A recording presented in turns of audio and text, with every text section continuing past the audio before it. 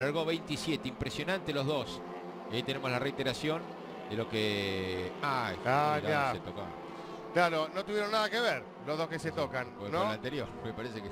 Claro, porque una Genera- situación muy parecida a la que le pasó a Arguisain, ¿no? En el circuito fácil Meli, Fernández y Rodríguez. Toques. Por esto que acaba de pasar. Ahí está, demás, están todos. En la situación que se produce justamente por el ingreso de, de este auto. Pero bueno. A ver, Javier, contanos. Gracias. 11 vueltas aquí en Altagracia. A ver esta reiteración. reiteración. Bueno, no pasó peor esto porque... No sé, de casualidad, ¿no? Fíjate que Sí, tuvo, suerte. quedó, ¿eh? quedó afuera y Villar entra en una carambola que vuelve a chocarse con Marchesín. Es el auto celeste. Villar queda cruzado. Y se lo lleva por delante. Sí. Cuando Marchesín estaba intentando volver a... Estamos con el tiempo ahí justo. ¿eh? Bueno, veíamos las maniobras. Ahí tenemos a Menocchio que le, se le cruza el auto de Ezequiel Chacón y se va contra Sí. la pared. Ahí está, ¿ves?